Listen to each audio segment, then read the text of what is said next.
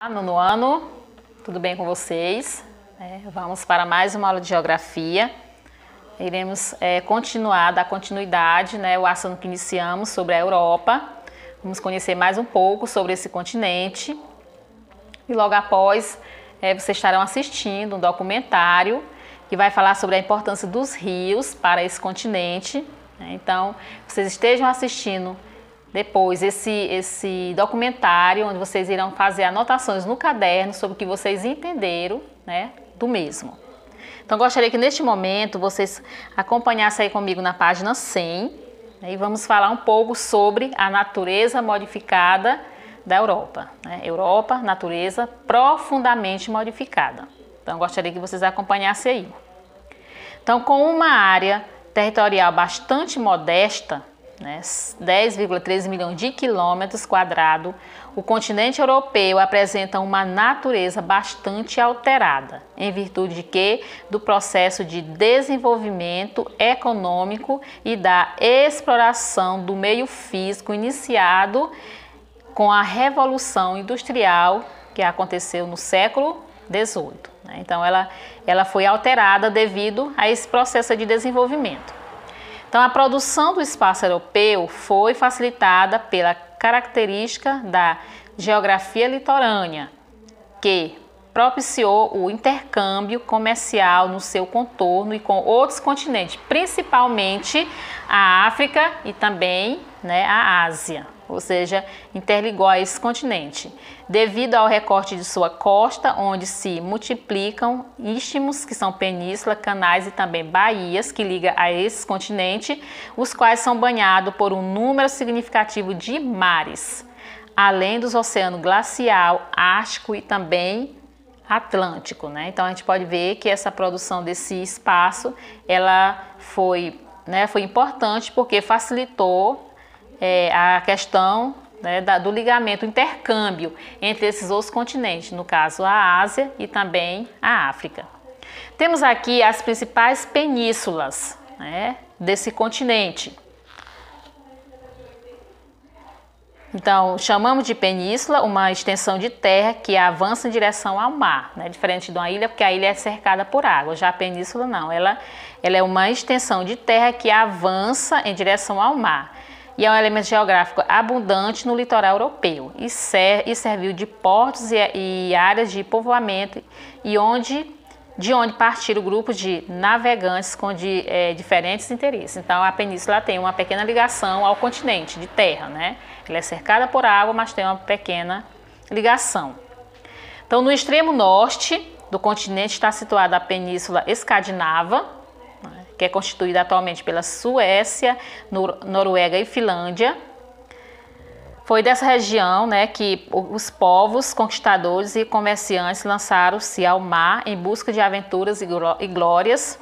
Um dos principais pontos né, onde esses povos aportaram foi a península da Jutlândia ou Dinamarca. São as principais penínsulas né, deste continente, localizada no país do mesmo nome e em um fragmento territorial da Alemanha.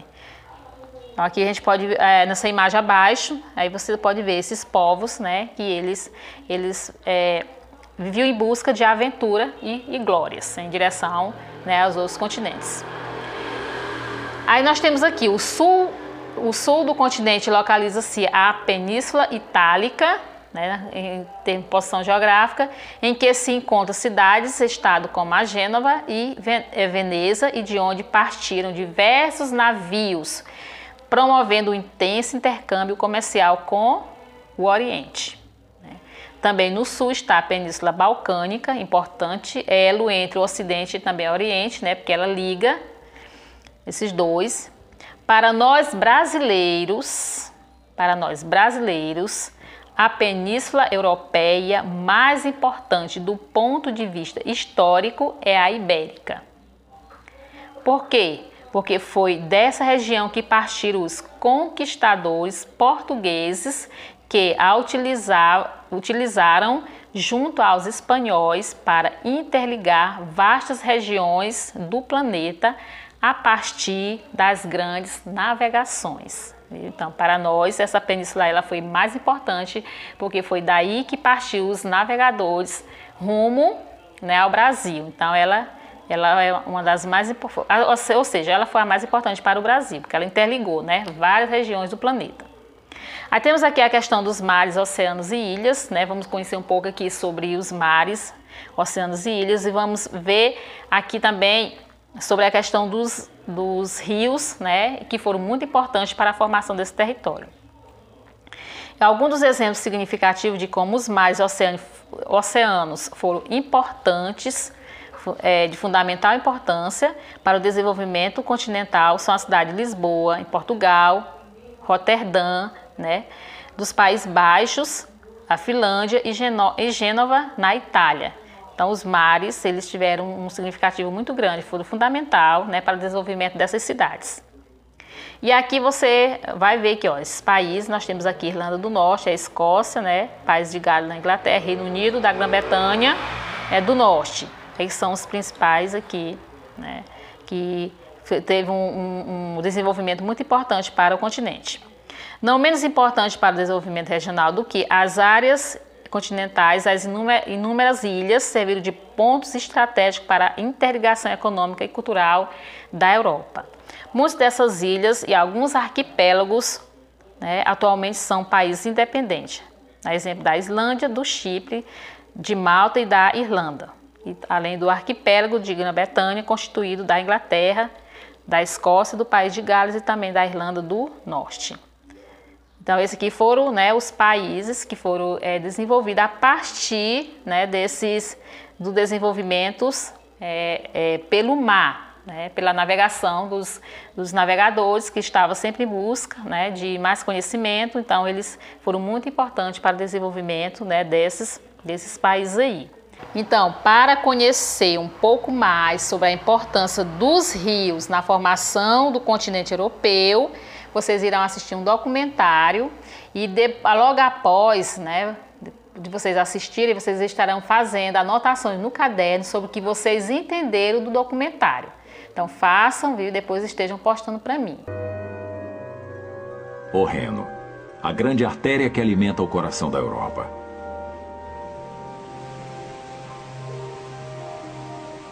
Esse é um rio que mudou o curso da história.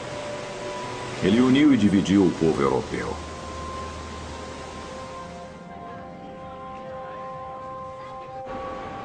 Por um lado, o Reno é uma rota vital de comércio, ligando países e culturas em seus 1.300 quilômetros de jornada da nascente até o mar.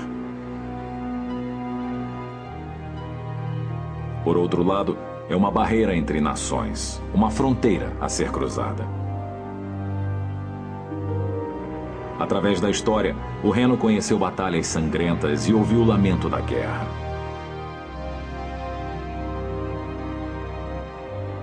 Mas hoje, esse rio e seu povo lutam uma nova batalha contra os efeitos das mudanças climáticas. Com o aquecimento global, o gelo alpino que alimenta o rio está derretendo mais rápido.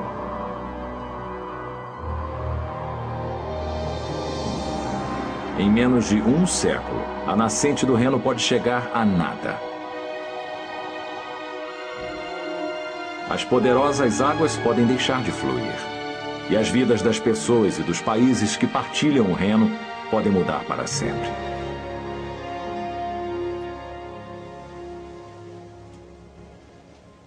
Os rios e a vida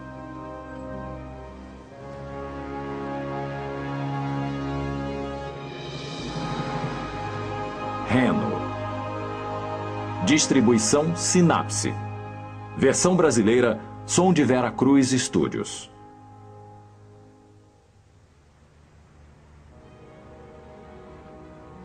Holanda, Alemanha, França, Liechtenstein, Áustria e Suíça.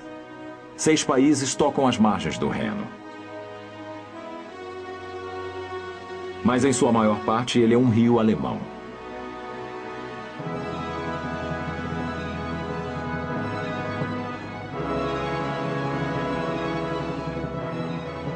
O Reno é a chave da identidade alemã. Monumentos patrióticos se erguem em suas margens.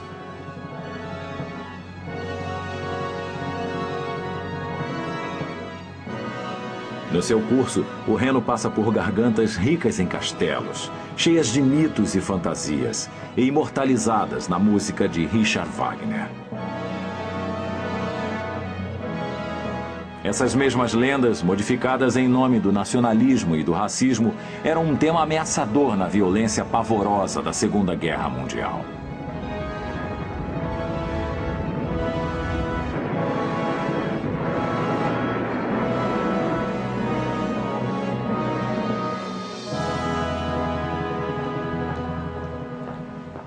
Aqueles dias terríveis já se foram. Mas agora outra guerra é travada no Reno. Uma luta contra o tempo. Enquanto as geleiras que alimentam o Reno continuam a encolher, há um perigo real de que a nascente do rio seque completamente. As pessoas que vivem e plantam nas montanhas próximas à geleira sabem muito bem dessa ameaça iminente.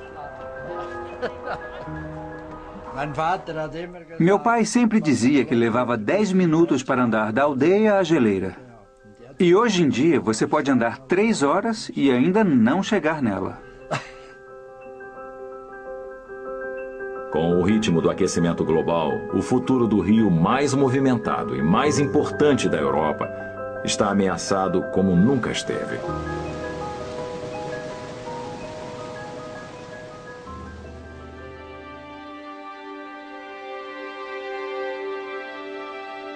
O Reno tem duas nascentes glaciais nos Alpes suíços.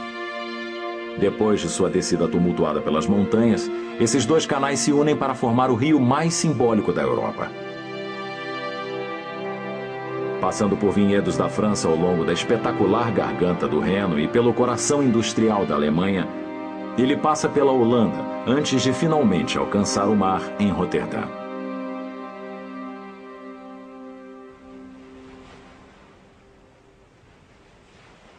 Se estendendo por mais de 40 quilômetros de margens, Roterdã é um dos portos mais movimentados da Terra.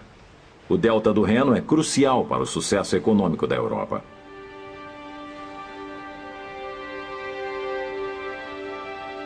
Mais de 400 milhões de toneladas de cargas passam por aqui todo ano. É aqui que o Reno segue para o Mar do Norte, onde grandes embarcações carregadas de mercadorias deixam a Europa e seguem para o resto do mundo.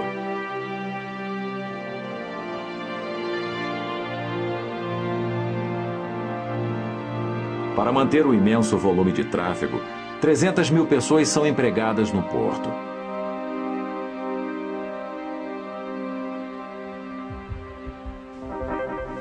Praticamente tudo aqui é controlado por computador. Até os navios navegam por radar.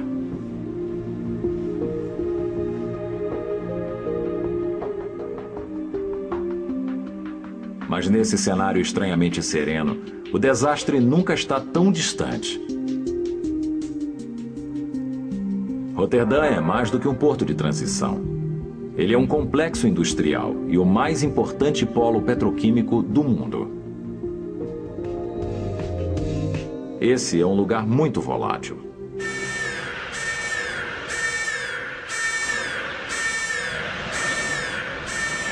Milhares de toneladas de matérias-primas industriais são transformadas em produtos comerciais aqui.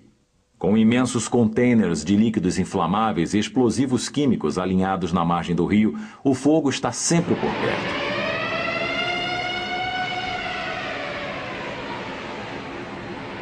Quando o desastre acontece, bombeiros especialistas como Alex Truman são a primeira e única linha de defesa do Reno. Para mim é totalmente um modo de vida. É irresistível. Está no sangue. Meu pai é dos bombeiros, meu irmão e eu também. Definitivamente está no sangue. É uma escolha difícil. Em todo incêndio que Alex combate, o risco de explosão é imenso, já que mais da metade das mercadorias que passam por esse porto são de cargas perigosas. E mais, O calor feroz das chamas pode liberar partículas químicas tóxicas para a atmosfera, envenenando o ambiente e o meio milhão de residentes da cidade próxima de Roterdã. Alex e sua família estão entre eles. Se você parar para pensar, fica preocupado com as coisas perigosas que podem acontecer. Quando se concentra no que pode dar errado, você nem consegue dormir. Zou je eigenlijk niet meer kunnen slapen?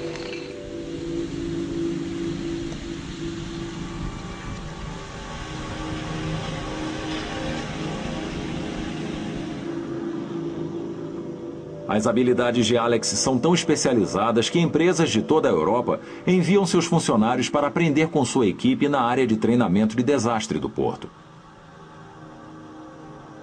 Esse complexo inclui até um petroleiro que é incendiado várias vezes por dia para que os alunos possam treinar como agir em acidentes industriais.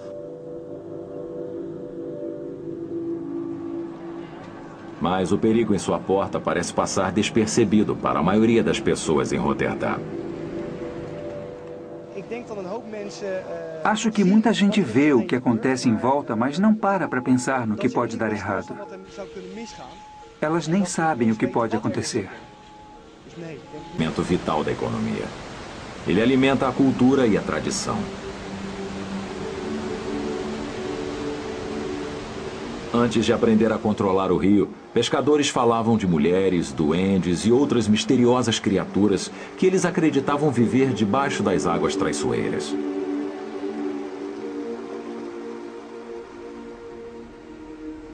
Hoje, essas histórias de pescadores se tornaram folclore, e as águas perigosas que inspiraram lendas foram tomadas, transformadas em águas plácidas para a indústria.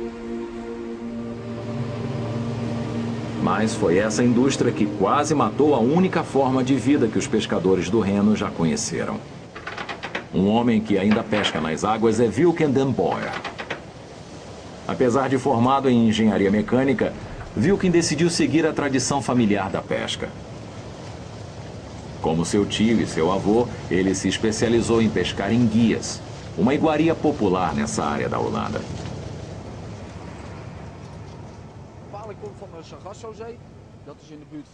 As enguias vêm do mar de Sargasso, próximo a Cuba. Elas chegam aqui no estuário do rio, sobem, crescem e amadurecem até estarem prontas para procriar. Aí fazem seu caminho de volta para o mar de Sargasso, onde se reproduzem. Mas há 30 anos, uma boa pesca como essa seria impensável por causa da grande quantidade de poluição das águas. Wilkin lembra dos tempos difíceis que seu avô viveu. A poluição afetou a quantidade de peixes. Certamente nos anos 60 havia menos enguias no rio. Para Wilkin profissional, uma fábrica de produtos químicos rio acima do porto de Roterdã explodiu, jogando fertilizante tóxico nas águas. O rio ficou vermelho e quase todos os peixes morreram. Wilkin percebeu que seu meio de vida estava em perigo.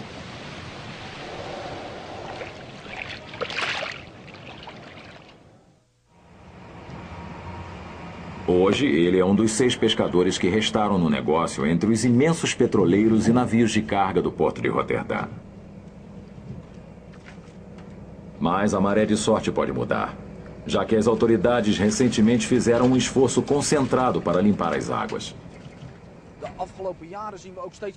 Nos últimos anos, vimos muito mais salmão. Eles tinham morrido devido à poluição. Nos anos 50 e 60, quase não pegávamos nenhum. Mas recentemente começamos a pegar de novo centenas por ano. Com o retorno dos peixes ao reno, quem espera que um dia seus filhos se juntem a ele e continuem a tradição familiar.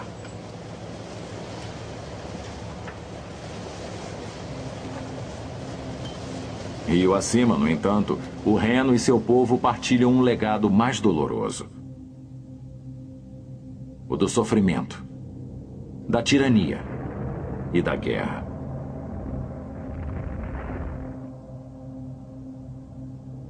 No lado leste da Holanda, perto da fronteira com a Alemanha, o Reno forma uma barreira natural entre os dois países. Uma fronteira a ser estrategicamente posicionada na confluência entre o Reno e o rio Ruhr, foi aqui que as fartas camadas de carvão e minérios de ferro retirados dos vales dos rios se uniram para serem transformadas em aço. No século XIX, Duisburg era uma cidade crescente e o maior porto interno do mundo. Mais de meio milhão de pessoas eram empregadas aqui nas indústrias sujas e perigosas. O aço feito em Duisburg podia ser levado pelo rio e exportado diretamente pelo mar.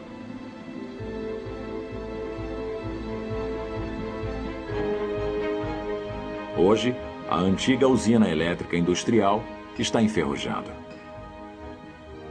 Carvão e ferro não são mais a espinha dorsal da economia local. E Duisburg está rompendo as algemas de seu passado industrial de poluição. Ao invés de expelir gases venenosos, essa enorme e antiga usina de aço foi convertida em um local de lazer. O velho gasômetro se tornou uma escola de mergulho.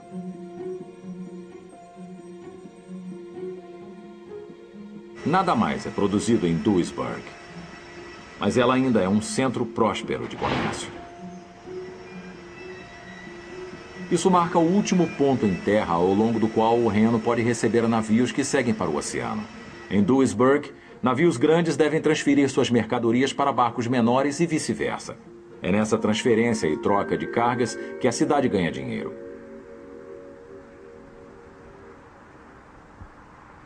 A barcaça dos Veldman é só uma das 20 mil embarcações de carga que passam por Duisburg todo ano.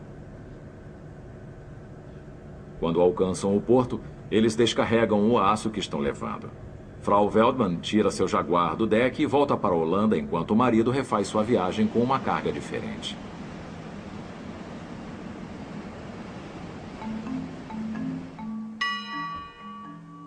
Em outros tempos, as pessoas consideravam a noção de comércio livre no Reno uma bobagem. Acima de Duisburg, os franceses e alemães, em particular, lutaram pelo direito de controlar essa valiosa rota de comércio. A cidade alemã de Koblenz tem uma longa história de disputas de propriedade. Essa confluência do rio Moselle francês e do poderoso Reno mudou de controle entre França e Alemanha várias vezes nos últimos mil anos. Agora, a faixa de terra que define a junção do rio foi declarada orgulhosamente alemã. Conhecida como Deutsches Eck, o canto alemão, essa popular atração turística é uma celebração ao legado de um homem. O imperador Guilherme I. No final do século XIX, Guilherme foi proclamado o primeiro imperador da Alemanha. Ele unificou todos os estados alemães anteriormente separados numa única força poderosa, uma força que foi usada e abusada em nome do nacionalismo alemão.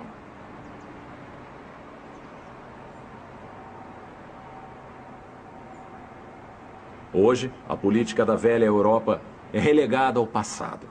E resta aos turistas, alemães e estrangeiros, apreciarem a estátua pelo que ela realmente é. Um lindo monumento.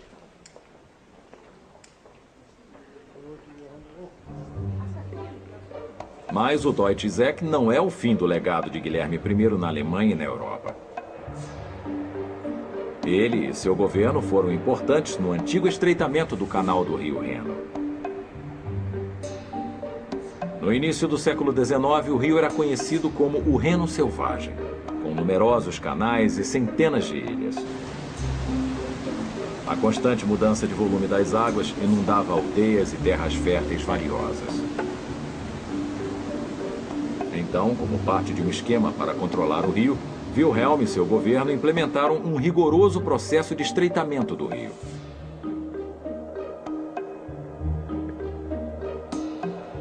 Hoje, 200 anos depois, as margens do rio foram dramaticamente transformadas de uma rede de canais menores em um único mais largo, efetivamente um canal cortando a Europa.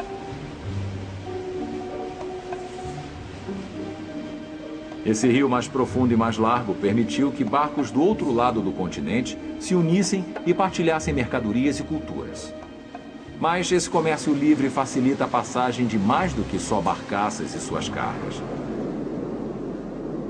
Os barcos que passam mais livremente pelos canais carregam uma carga indesejável e potencialmente letal. Muitos barcos deixam lastros para se manter equilibrados. Enquanto viajam por países estrangeiros, eles extraem ou liberam água para regular o equilíbrio, dependendo do quanto carregados estão, transportando criaturas do rio com eles.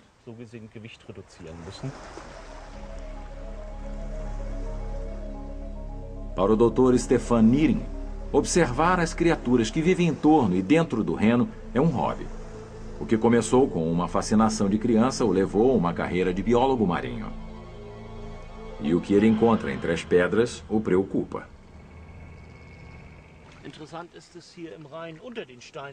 É muito interessante ver o que pode ser encontrado debaixo dessas pedras nas margens do Reno. Poucas criaturas vivem aqui. Vemos um pequeno camarão. Esse é um crustáceo que vem do Mar Negro pelo canal principal do Danúbio. É um predador e ele adora comer outros camarões que são nativos dessa região. E é por isso que ele é chamado de camarão assassino no meio científico.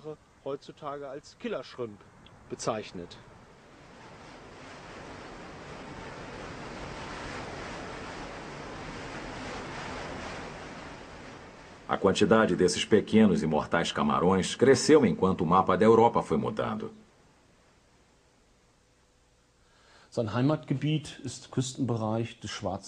O seu lar natural é a região do Mar Negro. Mas nos anos 80, essa criatura viajou pelo Danúbio e foi encontrada na Alemanha pela primeira vez em 1991. Achamos que isso aconteceu porque o leste europeu se abriu para o oeste. E isso levou a um aumento no movimento da navegação no Danúbio.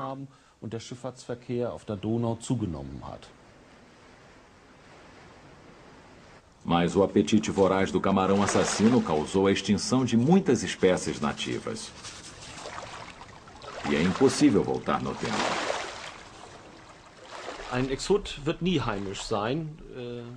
Criaturas estranhas e exóticas nunca se tornam nativas. Elas sempre são consideradas exóticas e são uma ameaça às plantas e à vida selvagem local. Ou se alimentam delas, ou todos se adaptam. E aí se tornam exatamente iguais às outras criaturas. É isso que chamamos de globalização do ambiente.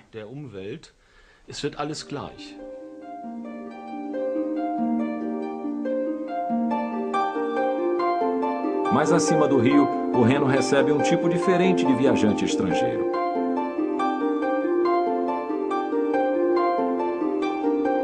Destino turístico popular, esse trecho de rio alemão é conhecido como o Reno Romântico, cheio de mitos e lendas. Um ponto alto na trilha turística está aqui, o Rochedo de Lorelai. Famoso através do folclore que diz que uma jovem traída por seu noivo infiel se atira para a morte.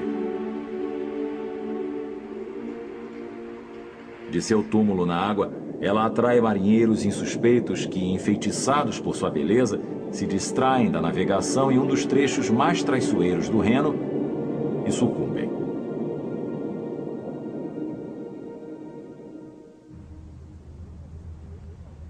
A história da donzela do Reno reflete uma verdade histórica. Aqui, o Reno sempre foi um trecho difícil de ser navegado.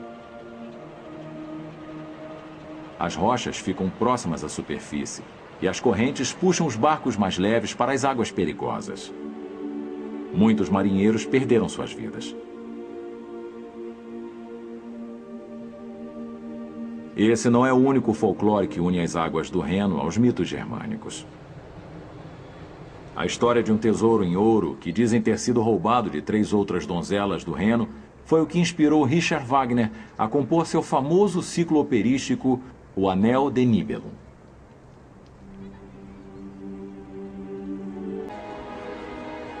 Há um multiculturalismo refletido nas comunidades do Reno desde que pessoas de diversas nações foram convidadas a trabalhar na Alemanha durante a reconstrução pós-guerra. o maior grupo de residentes estrangeiros veio da Turquia. Hasan Ozdemir é um escritor e poeta turco que chegou na Alemanha aos 16 anos e nunca mais saiu.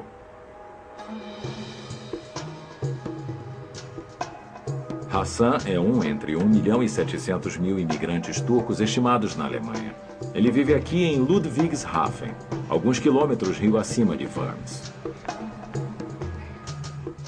No final do século XX, essa cidade cresceu rapidamente com a chegada de imigrantes turcos que cobririam a falta de trabalhadores causadas pela Segunda Guerra Mundial. Primeiro, esses imigrantes eram trabalhadores, convidados somente por um período limitado. Homens chegaram sem suas famílias e aceitaram trabalhos de baixos salários em fábricas consideradas perigosas ou sujas demais para os trabalhadores alemães. Mas progressivamente, os imigrantes iam buscando esposas e filhos e se estabelecendo em pequenas comunidades por toda a Alemanha. Foi um processo difícil de integração. Nos primeiros anos, se desencadearam tensões entre turcos e alemães. Hoje, os imigrantes criaram um lar no interior da cidade. Muitos dos turcos que vivem hoje na Alemanha se consideram alemães de primeira geração. Äh, o termo Gastarbeiter, estrangeiro, é um termo que eu rejeito completamente. Você não deve mais chamá-los de imigrantes, porque agora eles são grande parte da sociedade aqui. Não podemos imaginar uma Alemanha sem os imigrantes. A Alemanha mudou completamente. E há uma nova geração crescendo aqui que assumiu a responsabilidade por esse país e, por causa disso, devem ser chamados de alemães.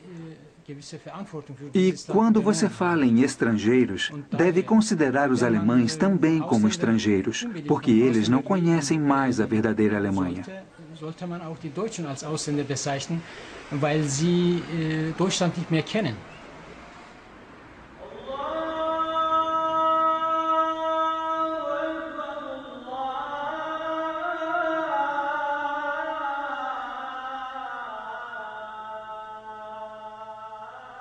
Enquanto os antigos preconceitos se esvaem, a atmosfera nessa cidade é mais de aceitação e de tolerância.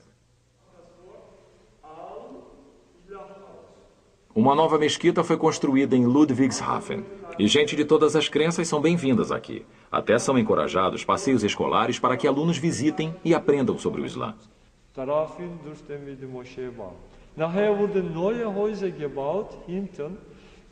É uma abertura que encorajou Hassan a abraçar seu novo estilo de vida.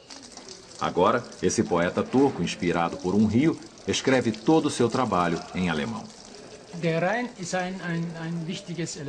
O Reno é um elemento muito importante para mim no sentido literário. Äh, äh, o Reno é símbolo de movimento. O rio segue e eu posso descrevê-lo como um imigrante. O rio separa os países passando entre os povos enquanto atravessa cidades e etc. O rio está numa jornada contínua. E enquanto muda seu fluxo, ele reúne força e cada vez vai mais rápido.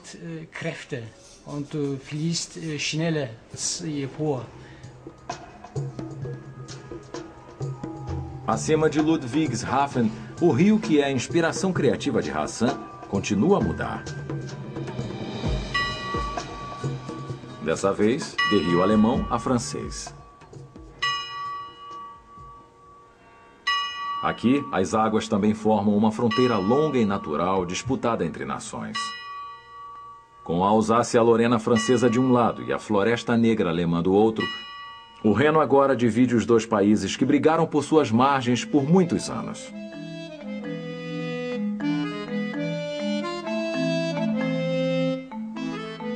As comunidades nessa região tiveram que encarar as consequências. Originalmente cidadãos franceses, o povo da Alsácia se tornou prussiano depois da Guerra Franco-Prussiana do século XIX. 50 anos depois, depois da Primeira Guerra Mundial, ele se tornou francês de novo. A família de Jean Rugel faz vinho em Riquevir, na região da Alsácia, há quase 400 anos. E eles sentiram pessoalmente a dureza de duas nações lutando por sua lealdade. Mon grand-père était né meu avô nasceu francês em 1869, mas se tornou prussiano em 1871. Em 1918, ele era francês de novo. E durante a guerra, os nazistas tomaram a Alsácia com mão de ferro e nos atacaram. Então, tivemos que nos tornar apoiadores de Hitler. Não de verdade, mas na aparência. Meu avô morreu francês de novo em 1950. Parece bem estranha toda essa mudança de nacionalidade, mas foi um grande drama familiar na época. Estávamos sempre no exército errado, sempre do lado que perde. Quando você põe os alsácios num exército, é ele que vai perder. E depois disso, voltamos aos vencedores de novo. É uma história complicada, mas, pelo menos, ela nos tornou europeus verdadeiros.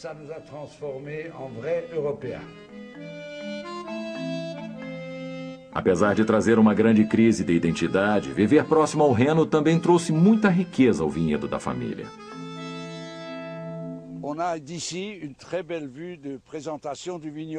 Daqui temos uma grande vista dos vinhedos da Alsácia.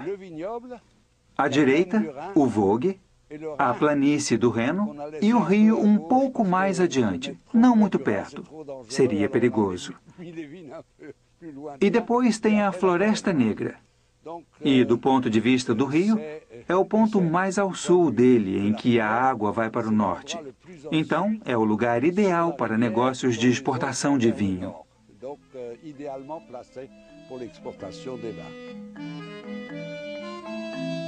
Jean Rugel e outros donos de vinhedos na Alsácia exportam a maior parte de seu vinho diretamente pelo Reno a outras partes da Europa e do mundo. Para ganhar dinheiro com vinhos, você precisa vender o produto a pessoas que têm dinheiro, mas não têm seu vinho. E para nós, essas pessoas estão no norte da Europa. Por causa do Reno, podemos partilhar nosso vinho com pessoas das terras mais baixas. Se deixar cair uma rolha no rio aqui, ela chega ao fim de sua jornada em Roterdã. Apesar de ter que mudar de nacionalidade várias vezes, a família de Jean Rugel sobreviveu como vinicultora contra todas as dificuldades. Mas seu futuro depende da sobrevivência do Reno. E o rio está sob ameaça não só pelo derretimento de sua nascente no alto dos Alpes suíços, mas pela poluição também.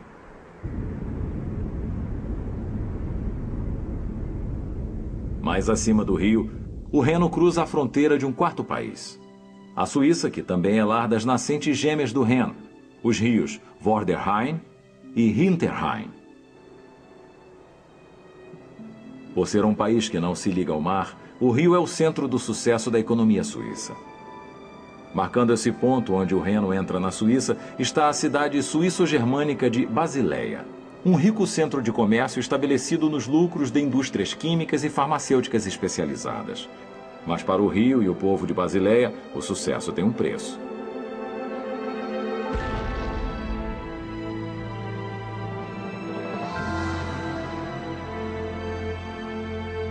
Irene Vigar viveu em Basileia sua vida inteira. 1986 é um ano que ela lembra claramente.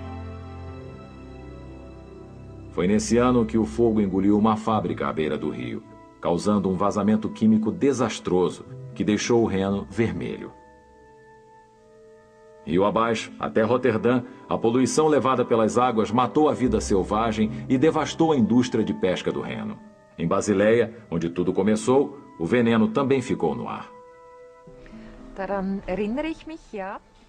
Eu lembro bem. No meio da noite ouvimos as sirenes e mandaram que fechássemos as janelas. Havia um cheiro no ar. Era como ovo podre. Isso foi o começo da poluição que durou anos, até a água e o ar estarem limpos de novo.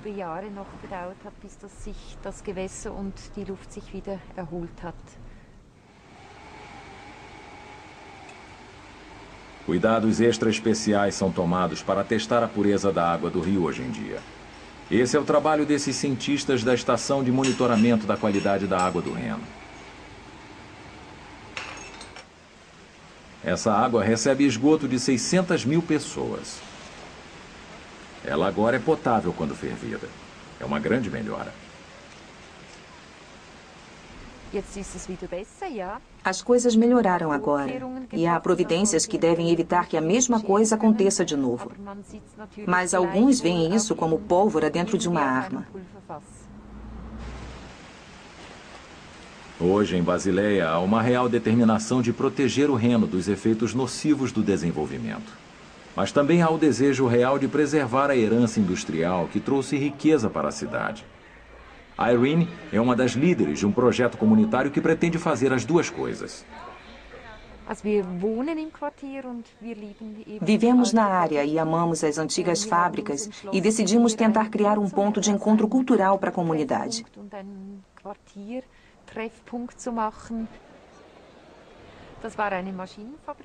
Essa velha fábrica de máquinas pertenceu a uma empresa mundialmente conhecida, mas eles se mudaram porque não havia espaço suficiente para expandir. Então deixaram o prédio vazio. Achamos que seria uma boa ideia trazer vida nova ao lugar, pelo bem da comunidade.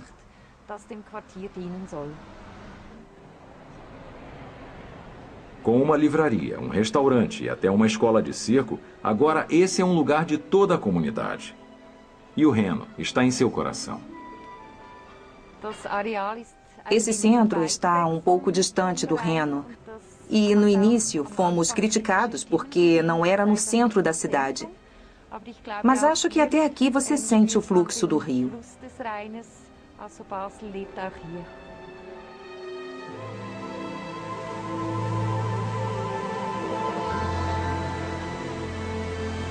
Da nascente ao mar, o Reno e suas águas poderosas moldam as vidas de todos que vivem nas suas margens.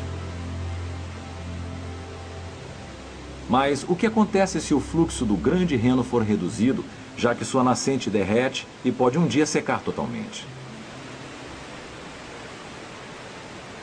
É um pensamento triste que essas quedas d'águas magníficas, as maiores da Europa, possam ser reduzidas a águas lentas um dia.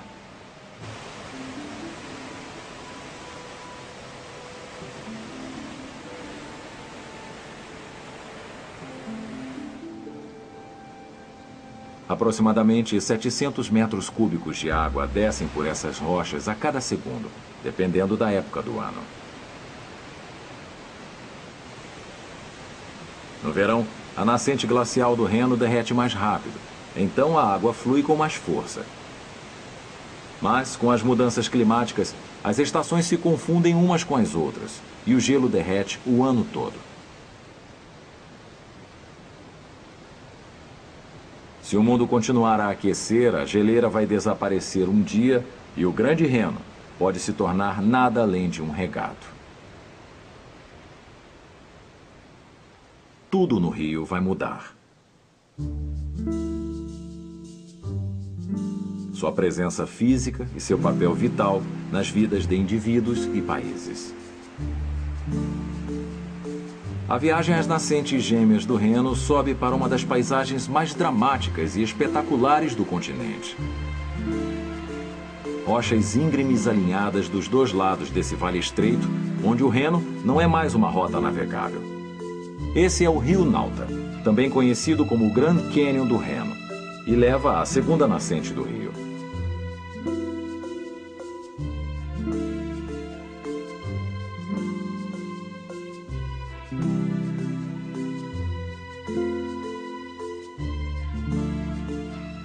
Esse lago pequeno e gelado é a nascente do Vorderrhein.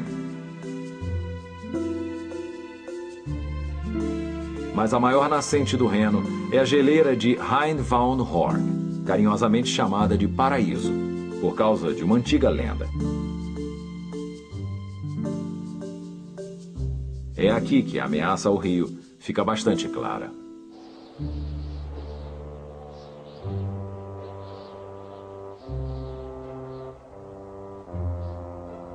Passada de geração a geração, a lenda fala de um pobre fazendeiro que vivia nesse vale, cuja única posse era um pequeno campo no topo dos Alpes, chamado de Paraíso.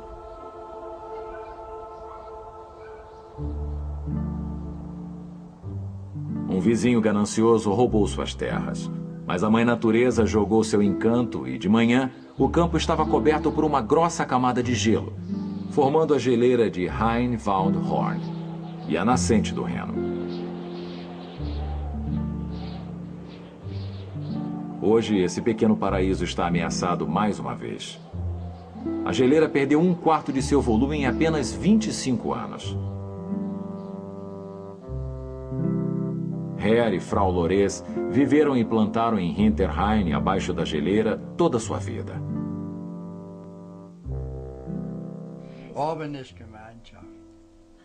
O topo da montanha é uma terra comum. Todos são donos dos Alpes. É, toda a aldeia é dona dele. Tem um pastor lá em cima e compartilhamos. Então, não nos preocupamos desde que todos se entendam e não briguem.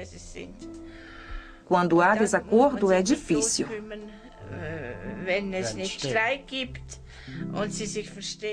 E todos precisam negociar. Muss man halt vermitteln und schauen, dass es wieder geht.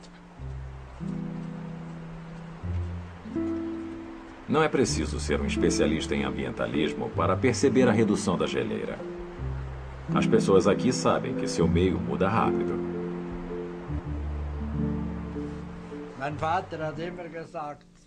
Meu pai sempre dizia que levava 10 minutos para andar da aldeia à geleira. E hoje em dia você pode andar 3 horas e ainda não chegou nela.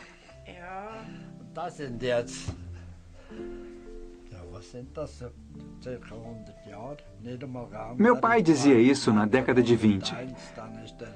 In den 20er Jahren war er dort. Wenn, früher, wenn es Antes, quando chovia, ficava tudo na montanha, mas agora vai descendo tudo e há perigo de uma avalanche. Kommt halt einmal und dann ist halt die Gefahr wegen Schot und so. E ela vem num fluxo forte durante uma semana. E depois para tudo de novo. Essa é a diferença, com certeza.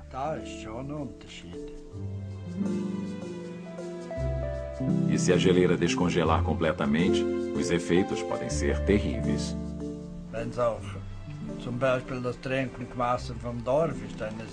A água potável na aldeia vem de uma boa nascente.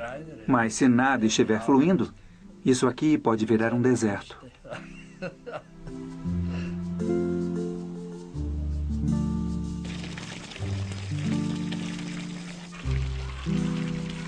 Enquanto o derretimento da geleira continua, o Reno e as vidas de todos aqueles que dependem dele estão em perigo. Se a nascente do rio secar, o que será dos fazendeiros e dos pescadores? Dos países e de suas fronteiras, das comunidades e de sua cultura.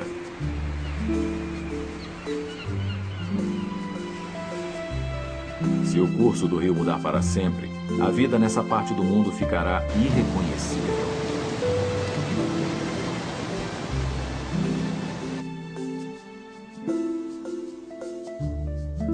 Um rio de estonteante beleza e de grande importância histórica. Essas águas impulsionam a economia da Europa. Desde os tempos imemoriais, o rio serve a muitas terras e povos, desde aqueles que vivem perto até aqueles que vivem a milhares de quilômetros. As pessoas lutaram para serem donas do Reno e das terras em suas margens. Talvez tenha chegado a hora dessas pessoas se unirem para salvar o rio e lutarem lado a lado por seu futuro.